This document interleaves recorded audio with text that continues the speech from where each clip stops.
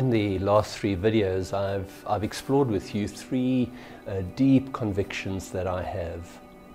Uh, we began by exploring the extravagant, graceful, mind-blowing offer that lies at the heart of the Christian faith.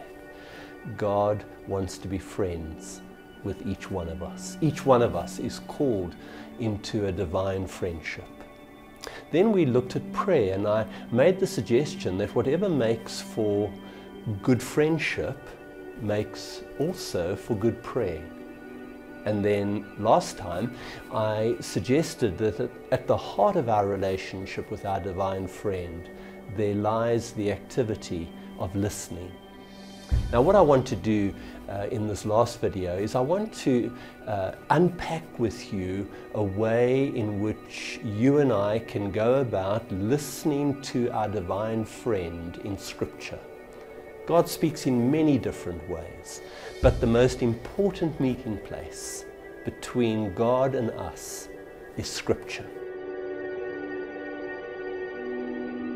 Now, the way of listening to God in Scripture that I want to explore with you has gone by different names over the centuries in different groups. Some people call it Lectio Divina, which is a phrase meaning sacred reading. Other people speak about meditating on the scriptures.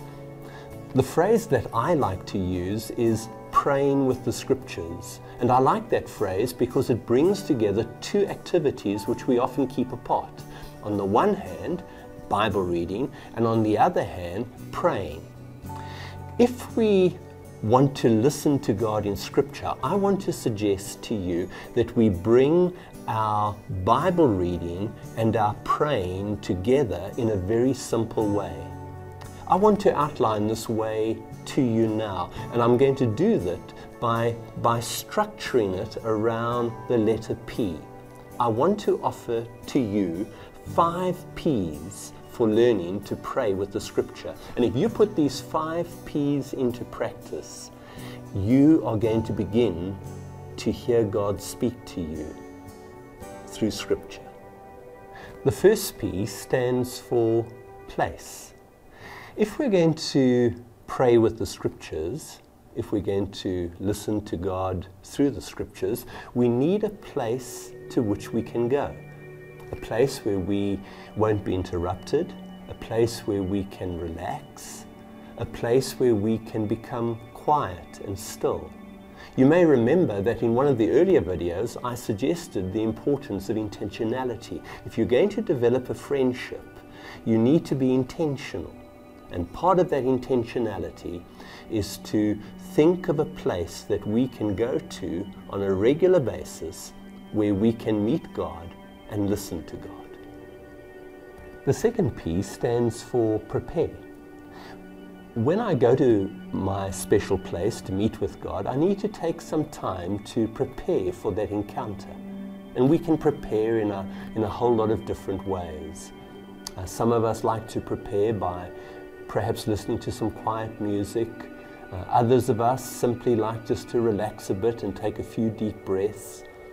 What I enjoy doing is to take maybe just one verse of scripture like, be still and know that I'm God, or a sentence like, in God we live and move and have our being. And I take a, a sentence like that and I just repeat it very quietly to myself until I feel ready to move on to the next step.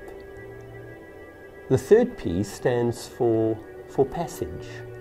Uh, when I feel prepared to, to, to, listen to God, when I feel that there's a quietness within my, my heart and my mind, I go to that passage which I've selected to read. Uh, usually it's a passage that's not very long, between 10 to 15 verses. It could be one of the stories of the gospel, or it could be a psalm or a, a passage from one of Paul's letters. And when I go to that passage, I I, I read it. I read it slowly. Now, I know that we often get taught these days to speed read, but we, we need now to slow read. It's, a, it's a, a way of just reading scripture slowly, leisurely, reflectively. I find it quite helpful, in fact, to, to read the passage aloud. And I read until I'm struck by a word or a, or a phrase or a sentence. And once I'm struck by something in the passage, I stop and I'm ready to move on to the next step. The fourth P stands for ponder. This is the stage in the process when I take that, that word or that phrase or that sentence that has really touched me and I, I reflect on it. You know, it's almost like sucking a sweet. I, I, I turn it over and over in my mind, in my thinking, and I just begin to wonder what God may be saying to me through it. This is the, the stage in the process when I begin now to listen. What is God saying to me? Is God inviting me into anything? Is God encouraging me to do something? Is God directing me in a particular direction? The stage of pondering is the stage in which we seek to listen to God. It's most probably the most important stage in this whole process. The last P stands for pray. Now, in one respect, we've been praying all the time. We were praying as we prepared, we were praying as we read the scriptures, we were praying as we, as we pondered that word or that phrase or that sentence. But now we have a time where we actually respond to the Lord and speak with the Lord as a friend does with a friend. Usually, when we've listened to God in Scripture, there are things that are going on inside of us that we want to share with the Lord, and now is the time to do it. So there's the process. It's, as you can see, very simple. We go to a place, we prepare ourselves, we turn to a passage of Scripture, we ponder what we've read, and then we pray. Over the centuries, followers of Jesus Christ have been doing this, and they have discovered that it is one of the most important ways in which our friendship with Jesus is nourished and deepened and nurtured. I hope that you will find it to be helpful in your own experience as well. Let us end this video series with a time of prayer.